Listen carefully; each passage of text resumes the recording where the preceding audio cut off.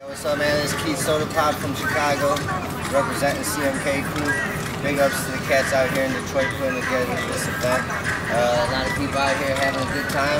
Weather permits. we're out here just banging out the wall. Bang, Chop on the beat. Bandcamp,